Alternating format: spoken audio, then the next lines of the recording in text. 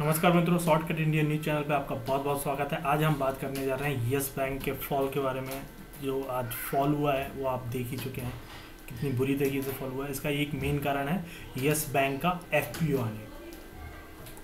Yes bank में जो आज फॉल हुआ है, आप देख सकते हैं, चौदह परसेंट का तो अभी तक फॉल हो चुका है। अभी इक्कीस रुपये पे चल रहा है इसका प्राइस और इसका मेन कारण, जैसा कि मैं आपको बता चुका हूँ कि इसके एफ़ आने के कारण। एफ़ क्या है? एफ़ होता है, जैसे कि आपका आईपी होता है इनिशियल पब्लिक ऑफरिंग रहता है, ये फॉलो ऑन पब्लिक ऑफरिंग रहता है। मतलब ऑलरेडी ये कंपनी मार्केट में है तो इसके लिए फॉलो ऑन लाया जाएगा।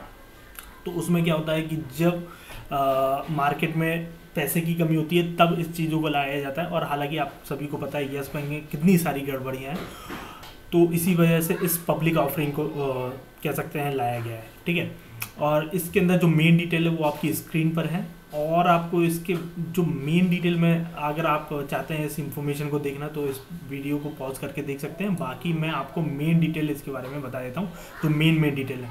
इसका जो पब्लिक ऑफरिंग होगा एफपी होगा वो रिलीज़ हो रहा है 15 जुलाई से 17 जुलाई, यानी कि अभी दो दिन बाद ही आएगा। आज तेरह तारीख है, चौदह, पंद्रह पंद्रह और सोलह सत्रह, यानी कि दो दिन दो दिन में आपको इसको बाय कर सकते हैं या फिर अगर आप चाहें तो ठीक है? और इसका public offering I P O price लिखा है इन्होंने हालाँकि, लेकिन ये एफ़ पी ओ है तो एफ़ पी ओ प्राइज़ इसका है बारह से तेरह रुपये यानी कि आप तेरह रुपये लगाएँ तो ज़्यादा इंपॉर्टेंट सही रहेगा, क्योंकि बारह रुपये आप लगाएँगे तो वो पब्लिक ऑफरिंग में लोअर बैंड और अपर बैंड का हिसाब किताब रहता है, उस तरीके से।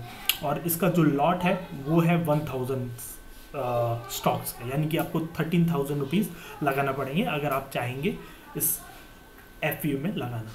और इसमें एक्चुअली में मेन कारण यही है कि अभी पैसे की बहुत क्रंच है, इनके पास लिक्विडिटी की बहुत कमी है। और मैं कह सकता हूँ, मेरे पास भी लगभग पाँच छः महीने तक I am not receive any call from the Yes bank मतलब किसी ने भी कॉल नहीं किया मेरे को येस बैंक से कि आप लोन ले लीजिए। आई थिंक उनके पास पैसे की काफ़ी कमी है इस कारण से। और मैं चाहता हूँ कि आपको बताना कि येस बैंक में किस तरीके का शेयर होल्डिंग पैटर्न है? मतलब कौन कौन ने इनमें इन्वेस्ट किया हुआ है ऑलरेडी आप जैसा कि देख सकते हैं नंबर ऑफ़ शेयर्स ये मैं गिनती गिन के नहीं बता रहा हूँ, लेकिन आप समझ लीजिए, ये हंड्रेड परसेंट है।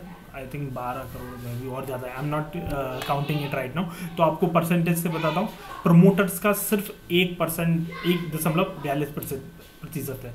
जब किसी भी कंपनी में प्रमोटर्स कम होते हैं तो उस स्टॉक को ज़्यादा अच्छा नहीं माना जाता क्योंकि कोई इसको प्रमोटर्स नहीं है, ठीक है?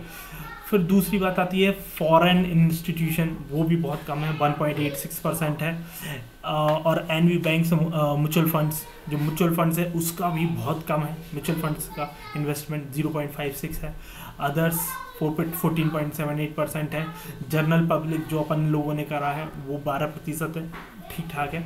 लेकिन हाँ इसमें सबसे ज़्यादा इन्वेस्टमेंट है फाइनेंशियल इंस्टीट्यूशंस का, जिसको आप कह सकते हैं सिक्सटी एट परसेंट जो बहुत ही इंपॉर्टेंट है। इसका मेन कारण है कि इसमें जिन लोगों ने इन्वेस्ट किया है, वो ज़्यादातर दूसरे बैंक हैं, जैसे कि एसबीआई बैंक ने HDFC बैंक ने ICICI बैंक ने तो इन सभी बैंकों ने इसमें इन्वेस्ट किया हुआ है। तो इस तरह से इसको माना जाता है it with it will be little bit secure because right now बहुत से लोगों ने इसमें ऑलरेडी इन्वेस्ट किया हुआ है। लेकिन इसमें एक एक पॉइंट है, जो पॉइंट ये है कि इन जो फाइनेंशियल इंस्टीट्यूशन ने बाई किया था, वो दस रुपये की प्राइस पे बाय किया था। क्योंकि आपने पहले सुना होगा कि दस रुपये प्राइसिंग पर ये रिलीज़ किया गया था। उस टाइम पे सिर्फ़ फाइनेंशियल इंस्टीट्यूशन को अलाउ किया गया था कि आप दस रुपये पे बाय कर सकते हैं। तो ऑलरेडी इन लोगों को तो फ़ायदा हो ही रहा है, क्योंकि अभी बाईस रुपये चल रहा है हालाँकि, ठीक है? अभी पच्चीस, सत्ताईस भी गया था। लेकिन इन लोगों ने दस रुपये पे ख़रीदा है तो हमें, हमने भी कहा था कि रिटेल इन्वेस्टर को भी थोड़ा कुछ मिलना चाहिए कि हम भी बाय कर सकें, क्योंकि हमने बहुत ऊँचे दामों में बाय किया हुआ है, ठीक है? तो इसी वजह से इस पब्लिक ऑफरिंग को लाया लाया गया है। हालाँकि कह सकते हैं कि बारह रुपये तेरह रुपये पे। लेकिन जिन्होंने ऑलरेडी इसमें इन्वेस्ट किया हुआ है, उनके लिए तो बहुत बड़ा नुकसान की तरीके से है। ये आधा हो गया है प्राइस तो एक बहुत ही बड़ा चिंता का विषय है। लेकिन ठीक है, अभी बारह रुपये या तेरह रुपये है, उसके लिए हम बात करेंगे कि हम उनको इसको ख़रीदना चाहिए क्या नहीं ख़रीदना चाहिए। मैं इसके बारे में आपको एडवाइस भी ट्राई करूँगा देने का तो आपको खुद देखिए एडवाइस इसमें क्या है? एडवाइस में नो एडवाइस है, आपको कोई एडवाइस नहीं है। आप जो करना चाहते हैं do what you want to do ठीक है? और मैं कहूँगा कि मैं क्या करने वाला हूँ इस स्टॉक में? मैं इसमें एक्चुअल में बाय करूँगा, बहुत ही स्मॉल अमाउंट कह सकते हैं, तेरह हज़ार रुपये ठीक है, एक लॉट बाय करूँगा, एक लॉट जैसे कि मैंने बताया कि एक शेयर का प्राइस तेरह रुपये है और एक हज़ार का एक लॉट है तो तेरह हज़ार रुपये आपको लगाना पड़ सकते हैं। और इसको मैं चाहता हूँ कि मेरा ये प्लान है एक्चुअली में पाँच से दस साल के लिए इसको होल्ड करने का। उसके बाद देखेंगे कि क्या होता है। अगर मे बी उससे पहले ही अगर कुछ अच्छा प्राइस आ गया तो अच्छी बात है। क्योंकि देखिए, ये बैंक ठीक ठाक बैंक ही है। येस बैंक एक फोर्थ नंबर का सबसे बड़ा बैंक है, ठीक है? और काफ़ी सारे बैंकों ने इसमें इन्वेस्ट भी किया हुआ है। तो कह सकते हैं कि थोड़ा bit little bit secure bank ठीक है? तो अभी लेकिन इसमें बहुत बड़ा गड़बड़ झाला ये हो रहा है कि बार बार इसके price up and down up and down हालाँकि इसका प्राइस छः रुपये भी गया था तो अभी और भी लोग डर रहे होंगे क्योंकि कुछ लोगों का मत, आ, कहना है कि F P O is like a fair price offering हालाँकि इसका नाम फॉलो अप प्राइस ऑफरिंग है लेकिन कुछ लोग इसको कह रहे हैं कि जो इसने सच्चाई बता दी है। बैंक खुद ही बोल रहा है कि बारह से तेरह रुपये में आप खरीद लीजिए। तो इसका मतलब यही है कि इसकी फेयर प्राइस यही है। लेकिन ये देखने वाली बात होगी, आज से पाँच से दस साल बाद अगर ये बैंक वापस से उभर आता है तो क्योंकि ऑलरेडी इस बैंक में काफ़ी सारे बैंकों ने इन्वेस्ट किया है तो मुझे नहीं लगता ये बैंक अब डूबेगा। लेकिन हाँ इसमें चिंता की विषय ज़रूर है। तो इसमें कम से कम लगाएँ, ये तो मेरा सलाह नहीं है। मैं खुद ही मतलब मैं अपने बारे में बता रहा हूँ, मैं कम से कम लगाऊँगा। तेरह हज़ार से ज़्यादा बिल्कुल भी नहीं। और अगर आपको बहुत ही ज़्यादा अभी मनी की ज़रूरत है तो बिल्कुल भी इसको इन्वेस्ट ना करें, क्योंकि हो सकता है कि आप इसमें बहुत बड़ा अमाउंट लगाते हैं। हालाँकि इसमें टेन लॉट ही बाय कर सकते हैं। यानी कि आपको टेन लॉट बाय करने का मतलब है ten lot one second I am just one second just को कितने लॉट अपन बाय कर सकते हैं इसमें? नो नो पंद्रह लॉट सॉरी एक मिनिमम है, पंद्रह मैक्सिमम है। तो एक लाख पंचानवे हज़ार तक आप मैक्सिमम इसमें इन्वेस्ट कर सकते हैं अभी एफ़ में। लेकिन मैं वही कहना चाहूँगा कि मैं तो एक ही लॉट में कर रहा हूँ, इसलिए मैंने ज़्यादा सोचा ही नहीं पंद्रह पंद्रह लॉट्स कितना होगा।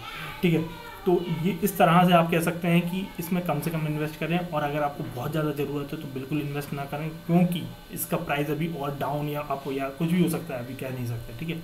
तो इस तरह से मैं इस वीडियो का अंत करने से पहले हाँ एक चीज़ और, इसको कैसे बाय कर सकते हैं, उसके बारे में मैं आपको बता देता हूँ। इसको आप डायरेक्ट जीरोधा से बाई कर सकते हैं। जीरोधा में आपके जो राइट हैंड है, उस पर आपकी आईडी रहती है। यहाँ पर आप क्लिक करें। उसके बाद आपका ओपन होगा। उसमें माई प्रोफ़ाइल आएगा कंसोल आएगा। कंसोल पे क्लिक कीजिए। जब आप कंसोल पे क्लिक करेंगे, उसके बाद ये स्क्रीन आएगा, जहाँ पर आपका प्रोफ़ाइल दिखेगा आपको, ठीक है? ये प्रोफ़ाइल पे क्लिक कीजिए और प्रोफ़ाइल के साथ ये प्रोफ़ाइल आपको दिख रहा है। इस प्रोफ़ाइल पे क्लिक करेंगे, उसके बाद ये ओपन होगा। उसमें आपको आई पे क्लिक करना है। और फिर उसी स्क्रीन पर आपको उसकी सारी इन्फॉर्मेशन मिल जाएगी, जो भी I P O I F P O आएगा। आपको पंद्रह तारीख को देखना है ये, ठीक है? तो पंद्रह तारीख को आप देखेंगे तो उसमें आपको एफ़ बी ओ देखेगी, वहाँ से आप बाई कर सकते हैं। इसके बिड लगा सकते हैं, तेरह रुपये ठीक है?